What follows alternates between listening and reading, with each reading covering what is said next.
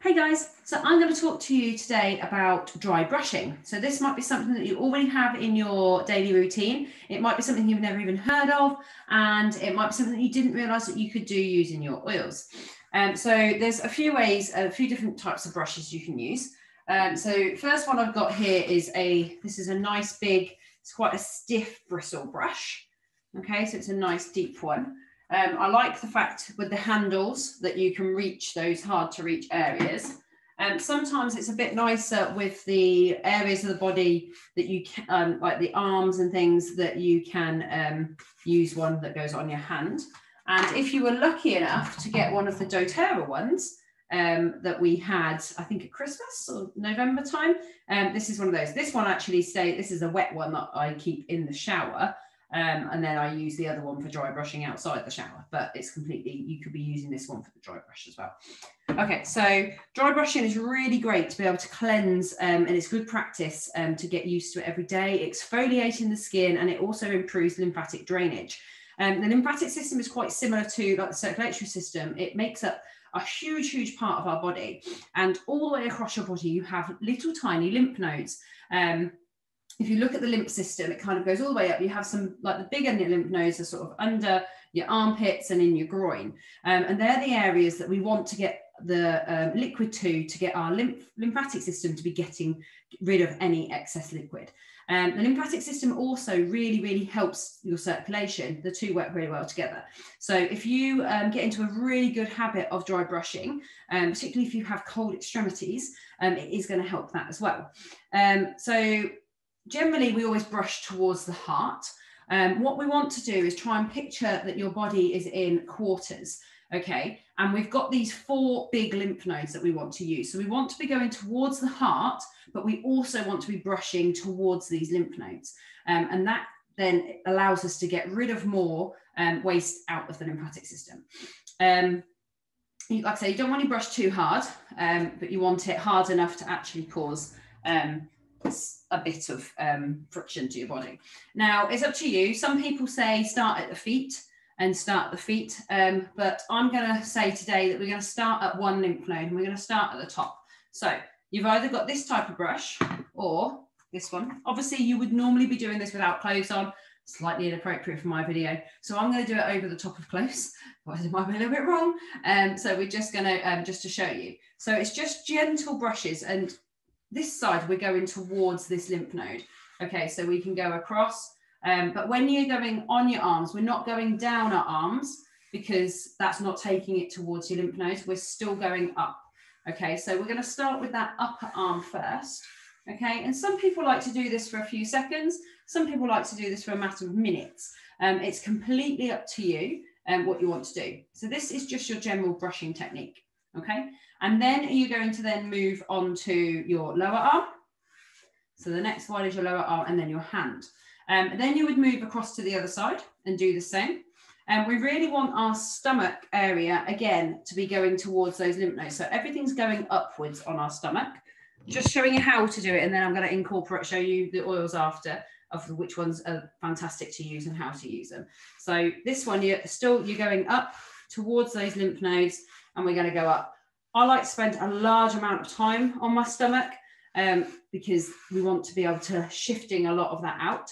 Um, then obviously you would now do your back. Um, I'm then going to show you your legs. So I'm sorry, get my leggings here. So again, you've got these lymph nodes in the tops of your legs. So we are going to start at the top of our legs and we're going to bring it up. And you're just going to keep doing that all the way around. Okay, all the way around your legs, particularly across up that buttock. So up your bum, and then the same um, on the lower leg. Try and get my leg up here. Same on the lower leg. And then you're going to then do the same on the feet and bottoms of the feet. Um, some people also like to, um, you can also do dry brushing on your face. Um, it depends on how sensitive your skin is. Um, these type of brushes are a bit too coarse on my face. I wouldn't like to do that. So I stop at the neck. But again, from the neck, you are wanting to go down into towards the heart and towards those lymph nodes. So that is the direction that we're doing. That is how we're doing dry brushing. Little, nice little strokes and we're bringing that up. So now, obviously, we want to bring in our oils. Okay, so this is obviously what we're here for. We want to show you one, how dry brushing is amazing, but we're now going to take you up another level and teach you how to incorporate the oils that you have into your dry brushing. So some of my favorite, again, you could pick any oil, whatever oil suits you, whatever oil calls to you is perfectly fine.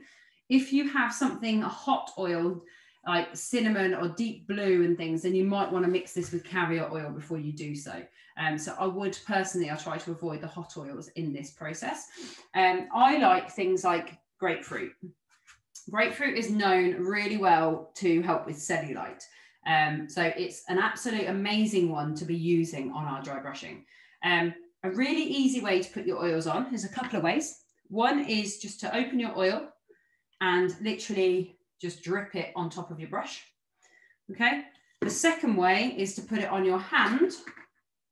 And again, you can add some carrier oil if you wanted to, um, and then rub it into your bristles and do it that way. Okay. So it's in your bristles. So it's there now. Smells amazing. I would then continue my dry, dry brushing that way. I'm putting this on now because I'm about to have my shower. Um, so I thought I'd do it at this time of night. Um, I've done a nice long walk today, so my body's craving for this before I um, have my shower.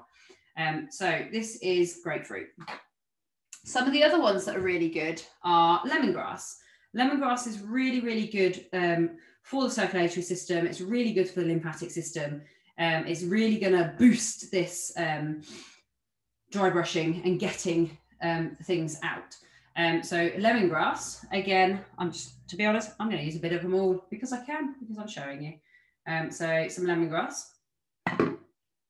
Lemongrass is amazing for um, lift, getting the, getting the body moving. Um, next one is cypress. Cypress is another absolute amazing one for the lymphatic system, um, getting everything where it should be going.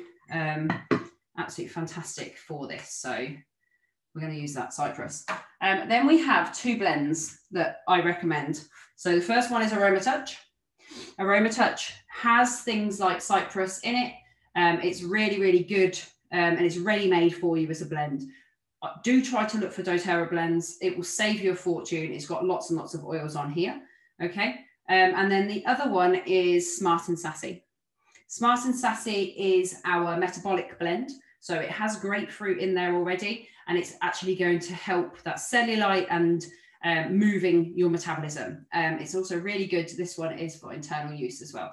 Um, and have that in your water daily, um, especially if you want to boost your metabolism. Um, so these are the ones that I'm going to use. Okay, so I'm going to pop those on my brush as well. Um, after you've dry brushed, it is obviously it's good practice to dry brush before your shower because um, if there's any all that dead skin that's coming off, you can then rinse off. And then when you get out of your shower, um, I highly recommend um, using moisturising cream.